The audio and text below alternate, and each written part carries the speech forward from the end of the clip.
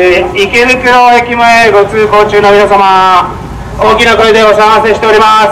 私は日本改革党から東京選挙区に立候補しております靴沢良二靴沢良二と申します。ありがとうございます。えー、昨日ですね安倍総理があんなことになってしまい夕べは許諾感でがっくりしておりましたが一晩寝て回復したかと思ったらそうでもないっていう、えー、あんなことはとてもとても許されることではありません。自分の安全以外の恨みや憎しみで同族を殺すのは私獣医ですけれども人間しか知りません、え、こんなことがあってはいけないと思います、え、気に食わないから口を閉じろ。いなくなれ。こういうのは非常に良くないことだと思っております、えー、ところで皆様あのご存知かもしれませんけれども私は日本人はみんな親戚でそれがゆえに今の日本が成り立っているという考えを持っております。えこれはですね一世代遡るとご先祖様は2人2代で4人。3代で8人。4代で16人。あなたにはご先祖様がいることになっております、えー、それでですね25年で1世代。とすると100年前までに4世代。あなたにはご先祖様がいることになります、えー、100年前からは平均寿命が短いので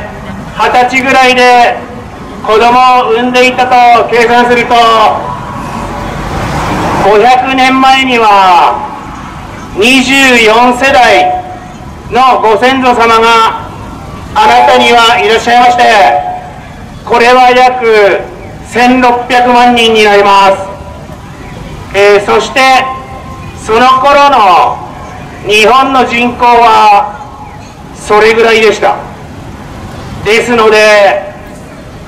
あなたのご先祖様と日本の人口が同じぐらいであったのですから日本人はみんな親戚である。と私はこう思っております。みんなが親戚なゆえに他の国では考えられない無人の販売所が成立いたします。親戚の野菜ですから盗んで食おうとはいたしません。それとですね日本刀やゼロ戦など異常な作り込みの製品が日本には数多いんですがそれもそのはずであります。作り手は意識しておりませんが親戚が使うんだから。と言って作っているから凝って凝って凝りまくった製品が出来上がるのであります。しかしイエス・キリストは私たちを地獄の刑罰から救ってくださいます。その十字架の犠牲と私たちはいつの間にか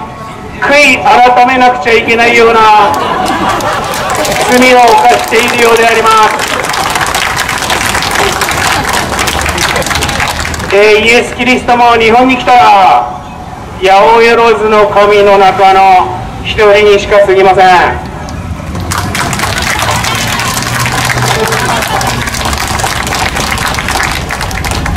えー、というわけで日本人皆親戚であるから例えばですけれども子供のいない安倍総理が一生懸命親戚の子供たちのためにいろいろやってくれたと考えております、えー皆様の中にもお子さんいらっしゃらない子子じゃない。おお子さんがいらっしゃらない方がたくさんいるとは思いますけれども皆さん皆さんにはたくさんの親戚の子供たちがいるのです。ですので日本のために頑張らなくちゃいけないって思ってるんです。よねそうですよね。えー私の政策はそういうわけで日本人は全員親戚でそれがゆえに日本の社会は成立している。すべ、全てこれに基づいて公約政策を決めております、えー救助を廃止しなければならない。親戚一同が身を守るためになんとか何でもできるようにしなくてはならない。私はそう考えておりますので救助廃止を訴えております、えー共産党さんなんかはですね以前は救助があれば平和は守れる。こう嘘をついてまいりました。えーそして最近ではその嘘に無理があるなぁと気づいたらしく救助を生かした外交で平和を守ろう戦争を避けようこんなことを言い出してまいりました。ですけれども皆さんよく考えてください。救助のない国に救助を生かした外交が通じるんでしょうか。そして救助を生かした外交で本当に戦争が避けられるんであれば世界中の国がそれをやってないとおかしいんじゃないですか？外国人にですね救助の精神をなんつってですね説明したところでは身を守るために武器を持たない。なんだそれ。言われるのがオチであります。私は親戚の日本人を守りたい。そのために救助は邪魔であります。廃止したいと思っております。で救助同様ですね。日本にしかないもの日本しかやってないもの結構いろいろありますが例えば外国人の生活保護であります。こんなことは世界中で日本しかやっておりません。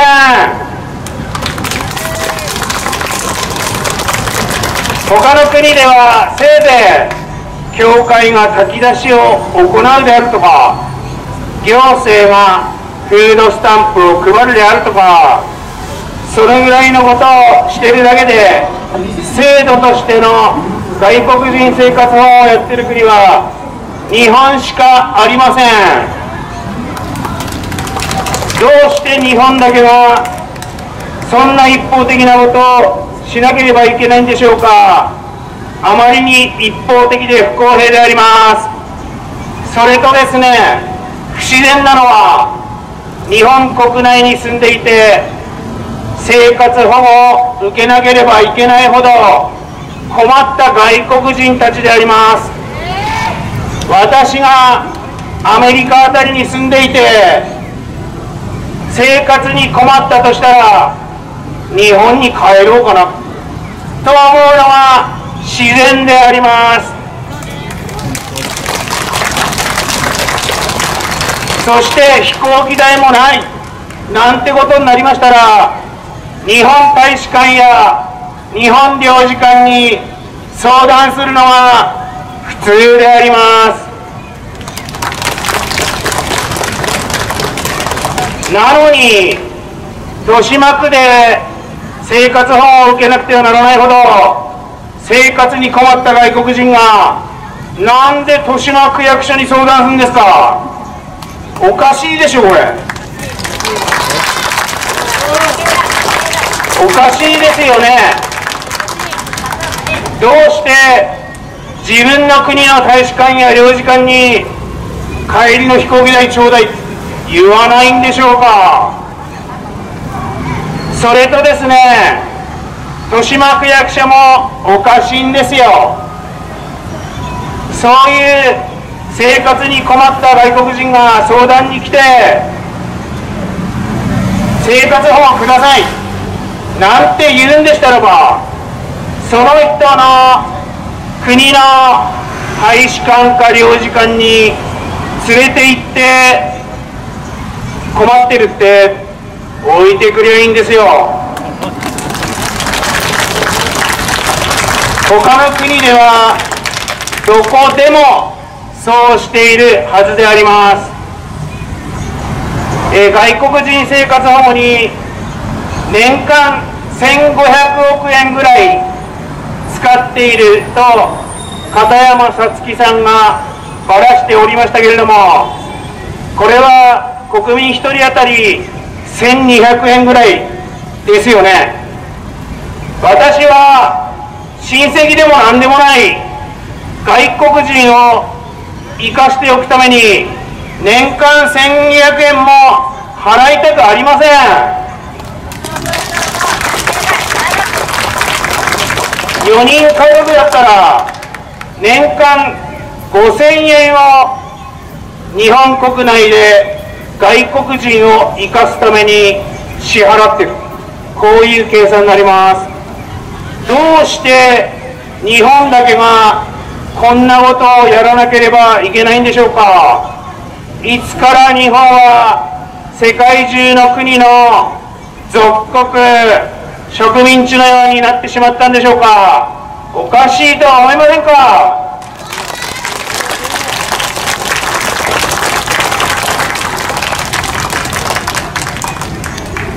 えー、70年前に当時厚生省の社会局長が出した一本の通達外国人も日本人と同様の条件で生活保護をくれてやる。こういう通達がもう70年間も生きております。この前の豊島区議会でその通達に地方行政は逆らえません。こういう答弁がありました。えー、おととい私厚労省に行ってですね偶然通りがかったもんですから厚労省行って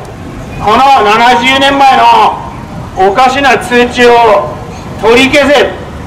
えー、言ってきたんですけれども全く取り消す動きも何もありません。当時はそれまで日本人だった横の国の人が突然日本人からあなたは日本人ではない横の国の人です。ということになったんで社会が混乱して元日本人にも生活もくれてやれ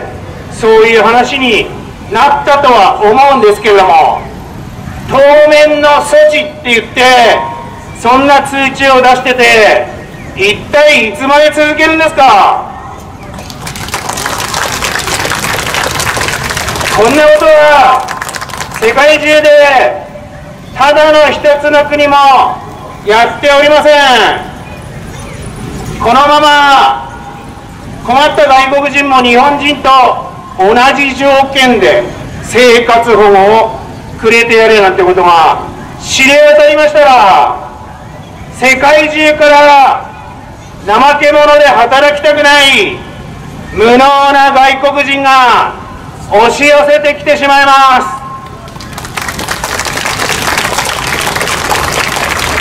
それでは我々日本人の親戚一同の生活がめちゃくちゃになってしまいます。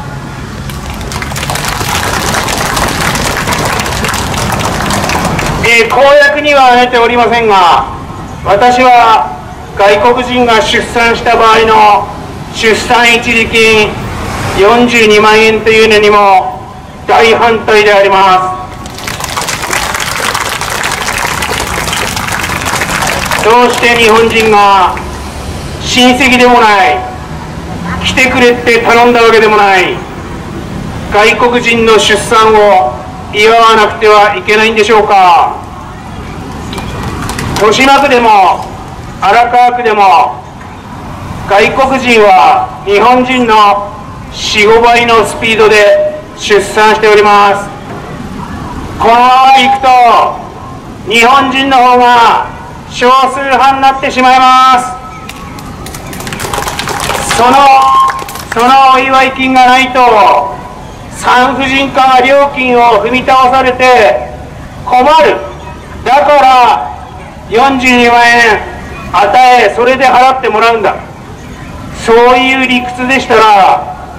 病院は外国人からだけは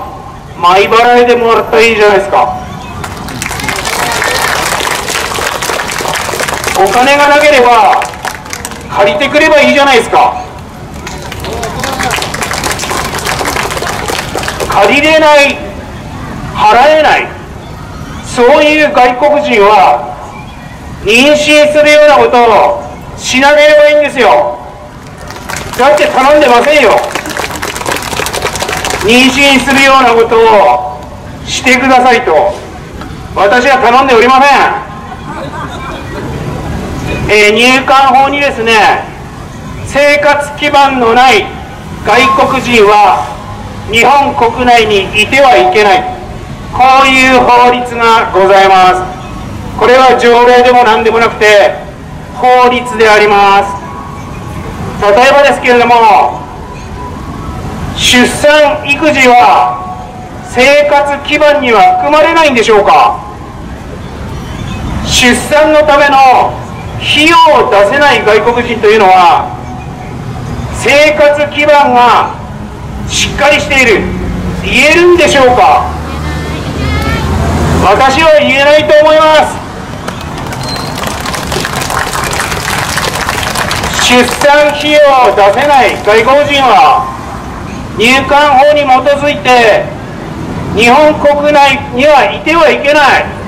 出ていくべきだと思っております。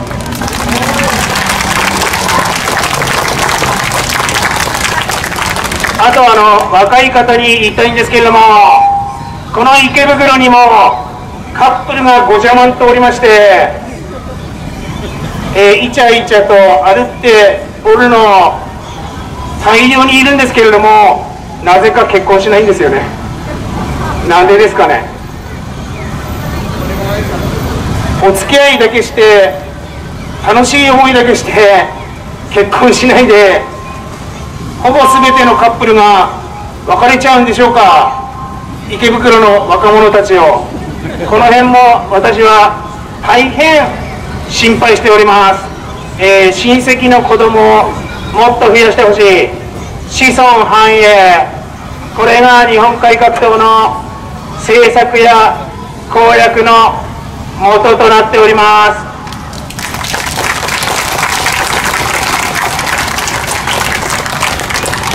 えー、子孫繁栄されちゃ困る。日本人の親戚一同が増えると困る。こう考えているのが共産党や立憲民主党といった破壊と暴力の共産主義者であります。そのための手段として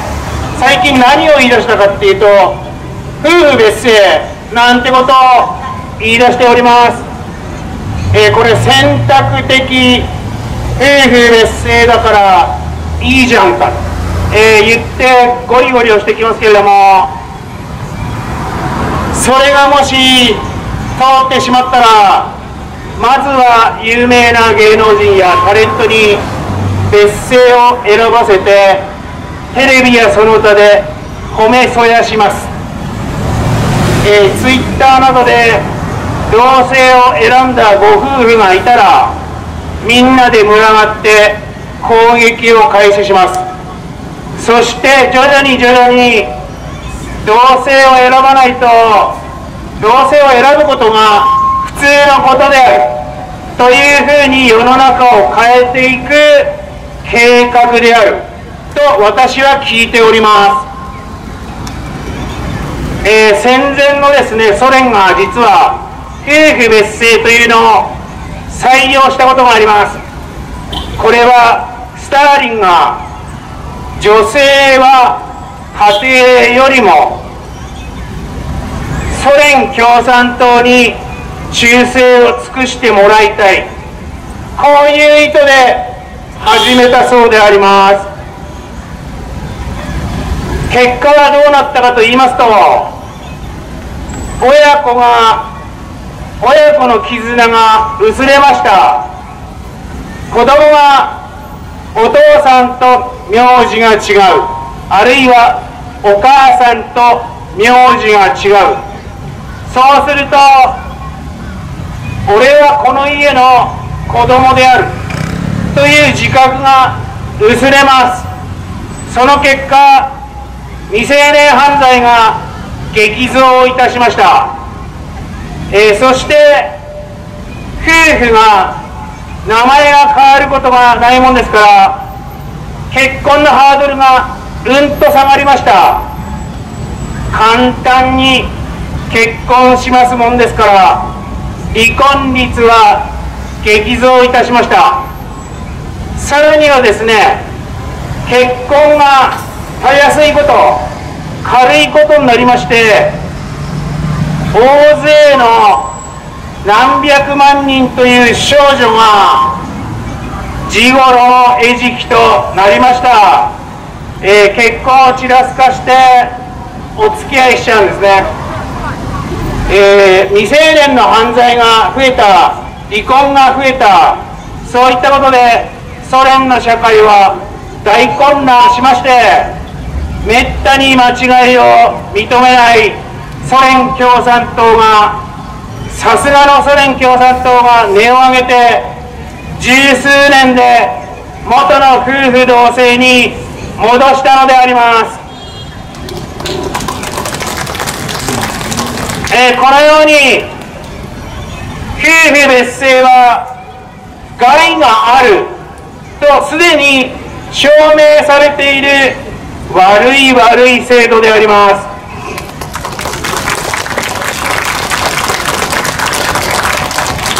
どうして共産党や立憲民主党がそういう悪い悪い制度を推進するかと申しますと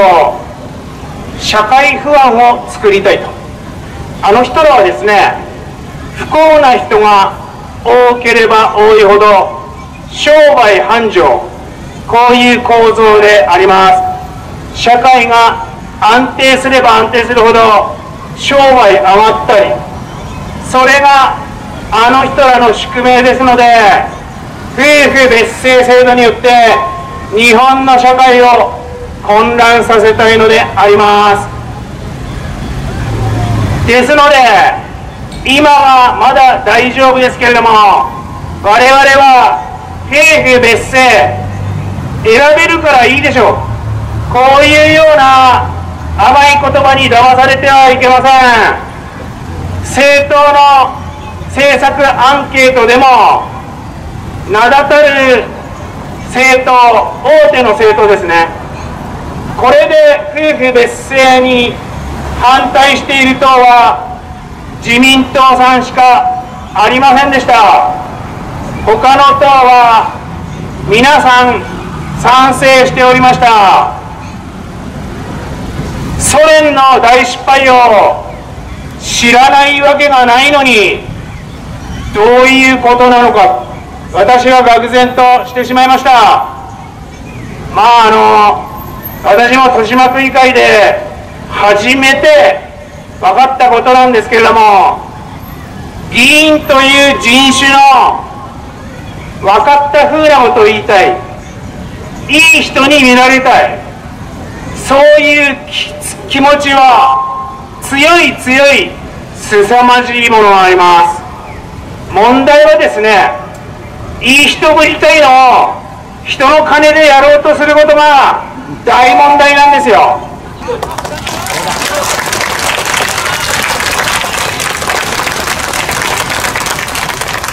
山本太郎も外国人生活法推進、えー、いい国だって見られたい。なんてことを演説しておりましたけれどもそんなにね生活に困った外国人がかわいそうだったらおめんちで引き取れと。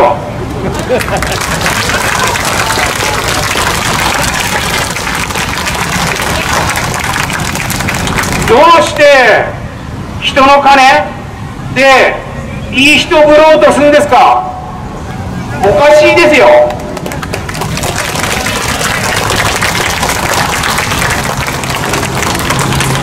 というわけで私は豊島区域では予防のために私ほど悪い人間はいないと常々言いふらしておりました。実際に他の議員さんたちいい人なんですよね。あの公明党さんなんかも上の方はろくでもないんですけれども末端の議員は私の100倍ぐらいは善人であります。いい人なんですよ。豊島区議会で36人議員がおりましたけれども私ほど根性が曲がっていて物事斜に見て生意気な人は一人もいませんでした。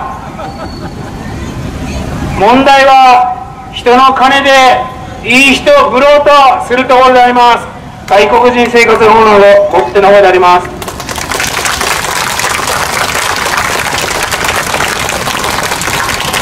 同様に夫婦別姓賛成なんて言ってるですね。まああの先ほどまでここにいましたけれども国民民主党や維新の皆さんいい人を売りたいんでしょうね。多分ですけど。夫婦別姓ああ賛成ああこの人はいい人だと思われたいんでしょうね、えー、ソ連の大失敗もご存じない。私は無知です。バカ丸出しです。言ってるのも当然なんですけれども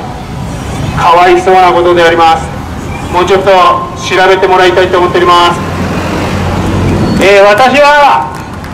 親戚だらけの全員親戚の日本人の社会が混乱してほしくありません。離婚率が上がってほしくありません。未成年の犯罪が増えてほしくありません。ですので夫婦別姓に反対であります。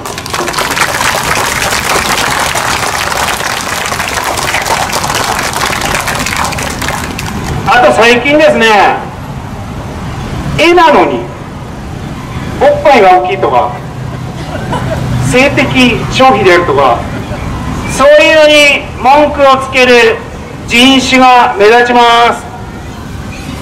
えこれですね日本の漫画やアニメの市場規模って皆さんおいくらかご存知でしょうか、えー、20兆円超えました。日本の次に漫画が売れている国はフランスだそうであります、えー、フランスの書店では最初一棚だった漫画のコーナーがどんどんどんどんどんどんどんどん増殖してって今や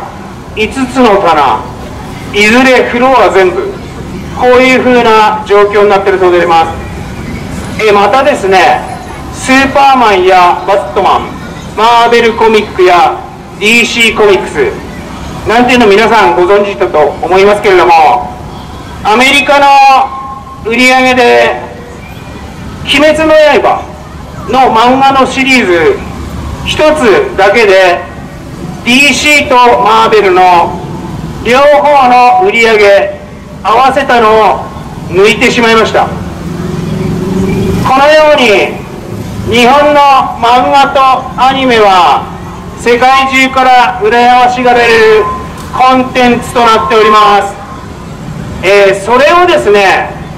なんとか規制しようっていう勢力が最近目につくんですよ。例えばですけど未成年に見える女の子の裸の絵を規制しましょう。こういう動きがありますけれどもはっきり言いますけどこれは日本の漫画やアニメの売れ行きが妬ましい羨ましいひがましい。それましいこういう国の手先どもがやっている所業であります。日本のアニメや漫画を表現規制でがんじがらめにして力を弱らせれば自分らの漫画やアニメがもっと売れるんじゃないかな。こういう浅はかでバカで愚かで卑劣で卑怯な考えに基づいてやってることなんですよ。ですので日本海側と私の公約には漫画アニメの一切の表現規制に反対、えー、こう入れました。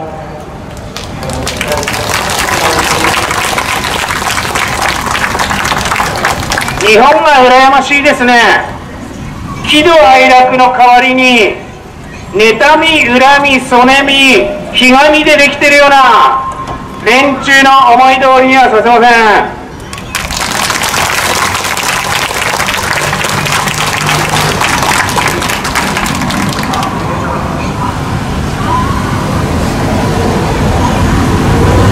あとこういう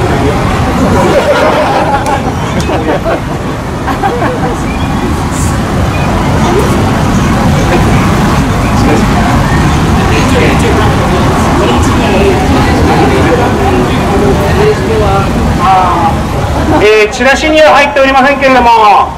えー、公約のアナウンスにですね日本人のために核武装っていうのを入れました。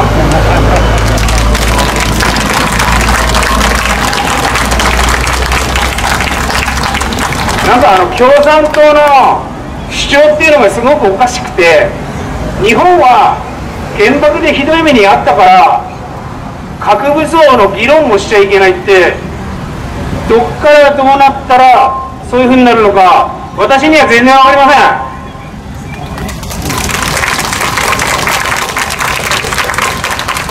うちは大火事で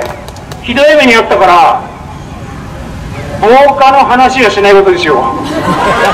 こんな話じゃないですか。それとですね日本人の安全のために戦争にならないために自衛隊に反対してますよね。平和活動と称して防衛妨害活動してますよね。オスプレイ反対であるとか。で沖縄の反基地の連中はジュゴンの住みかが追われるから基地を作るな。こんなことも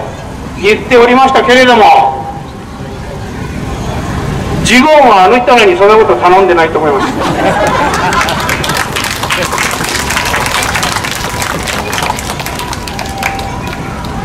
ちょうど救急車来たので、えー、新宿で凱旋やってる時にですね、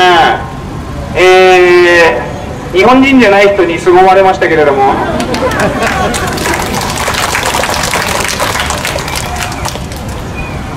あんなことされてもたまりませんよ。私は根性が悪いから。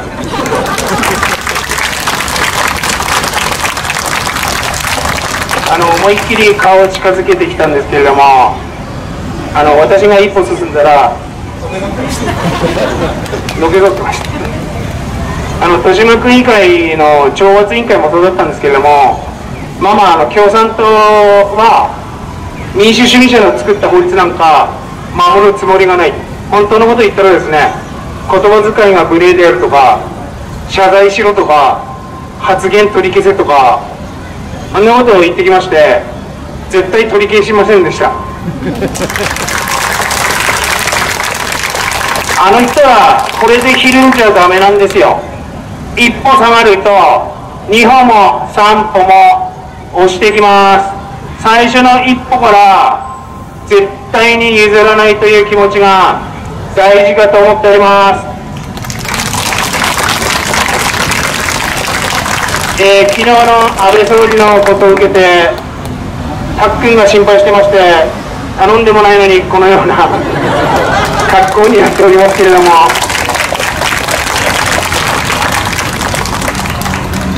まあまああの、ここにいる皆さんもですね、私もそうなんですけれども、えー、どうせいなくなるんですから、せいぜいかっこつけましょうか、子孫のために。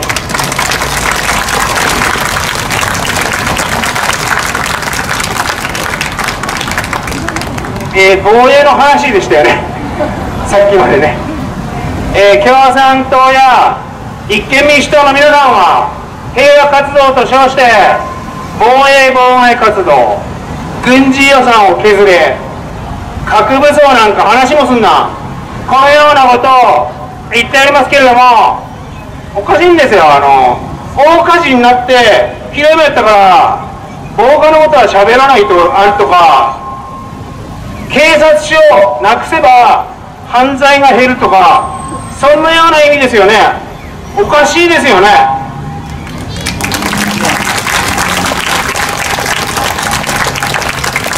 基地反対え基地があると攻撃される巻き添えになるなんて共産党や立憲は言ってますけれども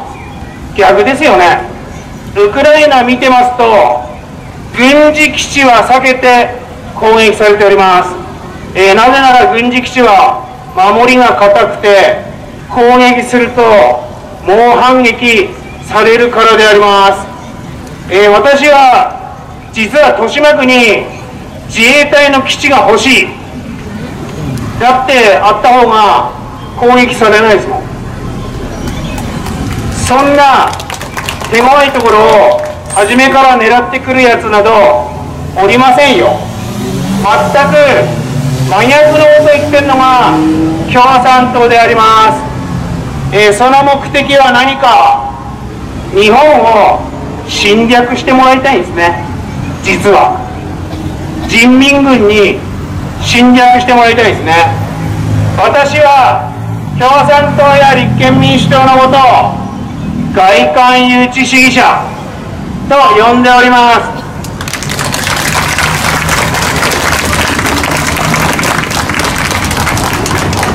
え、公約のチラシには入っておりませんけれども私は駅や街中での艦隊字表記ハングル表記にも大反対しております。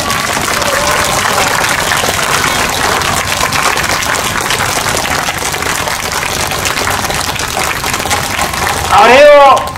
ご利用しして鉄道会社やバス会社に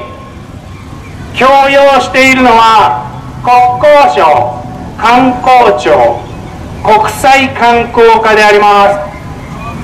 す、えー、多言語表記ガイドラインっていうのを作ってそれに基づいてやらしているんですけれども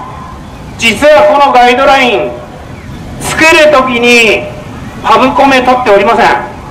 違法な代物であります。これに基づいて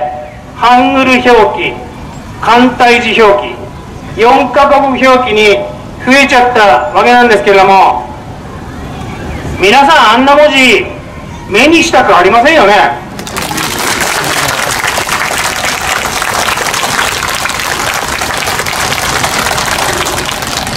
英語の表記は分かるんですよ。まだしも。っていうのは日米同盟というのがありまして日本国内を米軍兵士が活動することも想定されますから英語表記はまあまあいいとして簡体字表記あれ何なんですか？日本国内で人民軍の活動を手助けするためじゃないですか。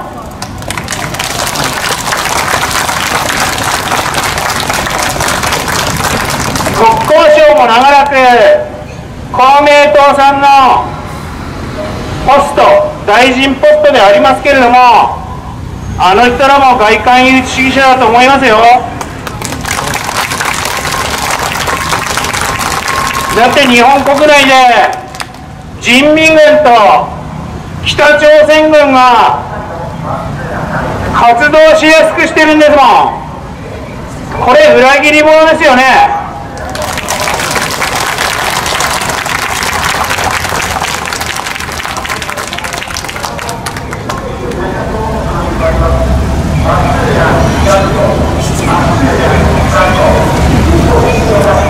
なかなかあの人気の池袋東口で。ですけども、えー、ですのでチラシには書いておりませんけれども日本人の親戚一同の安全のために簡体字とハングル表記やめろと。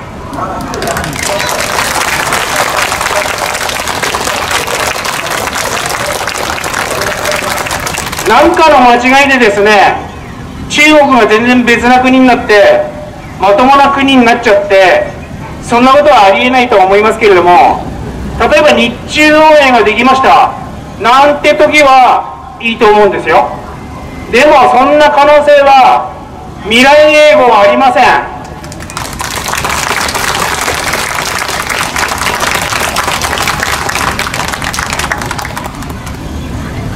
え、兵糧攻めなどで城にこもった中国人が自分の子供を食うと。そんな話がいっぱいあります、えー、あの人らとは未来英語を分かり合えませんので日中同盟なんかこれからもないと思います。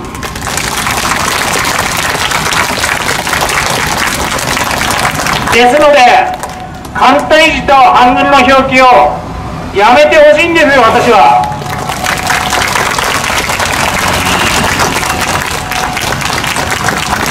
えー、4つの言語になっちゃって一つ一つの文字も小さくて見えません。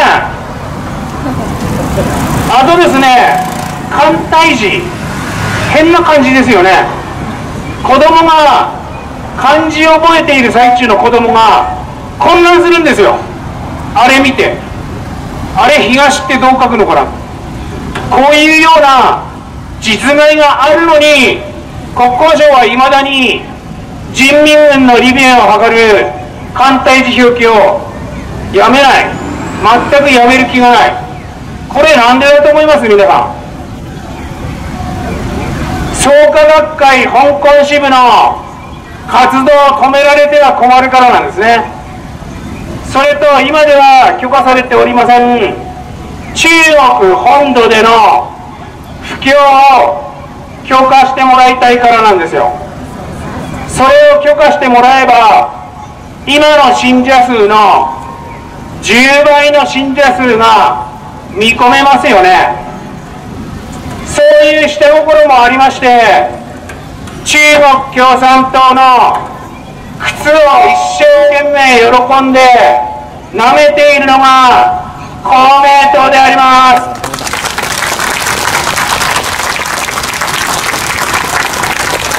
公明党の上の方は日本国の親戚よりも自分たちの組織さえ呼べればいい。こういうふうに考えている愚か者どもであります。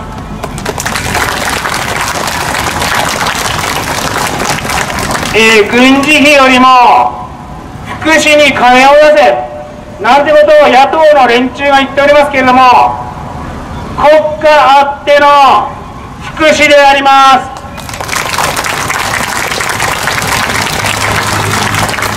国家がなくなれば福祉どころか生命の自由生命の安全財産の自由すらなくなることはウイグルやチベットを見ればすぐに分かることであります。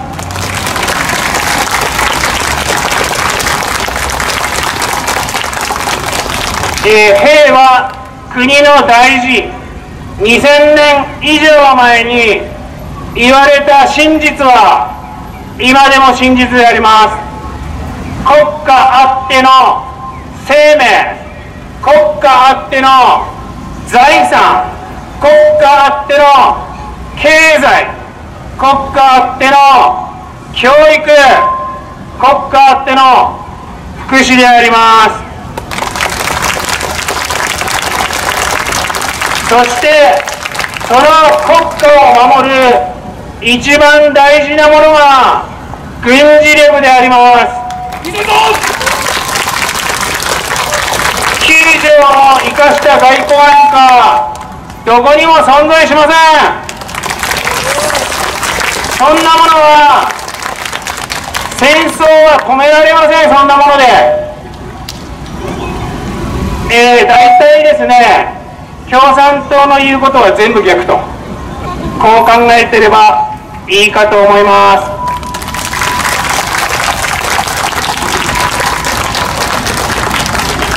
えー、私は防衛予算倍にするって自民党さん言ってますけれどもそれもいいんじゃないか、えー、思っております。えーとですね医者になろうかな。って思ってる子は医者と自衛隊どっちになろうかな？っていうぐらいですね給料を上げてやれば。優秀な人材などたくさん来ます。介護の世界に人が来ないなんていうのも給料低いからですよね。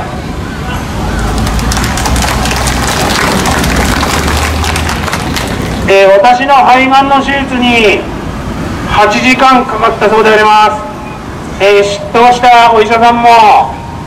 大変だったでしょうけれども医者はブラックって言われませんよね。それはなぜか。もらうものをもらってっからですね。ですので介護の現場も給料それに見合ったものを出してやれば全然ブラックとは言われないですよ。医者と同じであります、えー、防衛予算倍増。それが嫌なら安上がりな核兵器。これを持つべきだ、えー、共産党が防衛費よりも福祉だ、えー、次言ってきたらですねじゃあ核武装して安くあげようじゃないか。こういうのがいいと思うんですけれども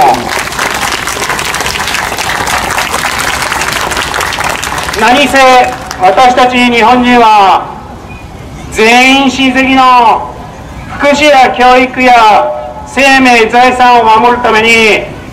日本というこの国家をウイグルやチベットのように失うわけには参りません。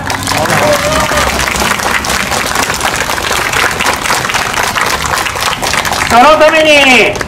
9条はなくすべきであるし核武装もしなければいけないし共産党といった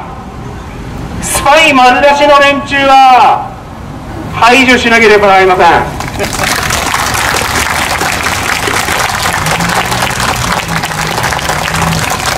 えー、私が日本人は皆親戚で一つの生き物のように行動する、えー、確信を持ったのは特攻隊の存在であります、えー、過激派などのテロリストが特攻することはたまにありますが先進国の正式な国家の正規の軍隊が正規の作戦で特攻を行った国は他にはありません。特攻隊の皆さんは若い若い子供のいない1819の今で言ったら青年とも言えない少年のような方も多くいらっしゃいました。ですけれどもその時の日本人はみんな日本人はみんな親戚で一つの生き物である。こういうことを理解していたから自分が死んでも大勢の親戚の子供が残ればいい。こう思って突っ込んでいけたんだと思っております。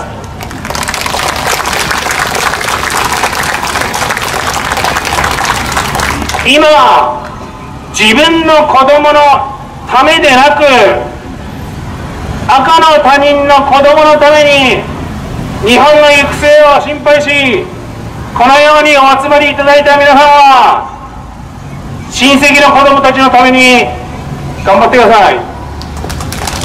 安倍総理もそうしていたはずであります。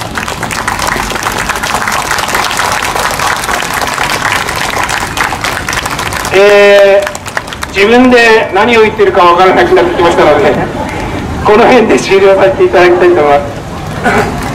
えアナウンス流しながらあのしばらくこちらにおりますんで、えー、よかったら声かけてください。よろしくお願いします。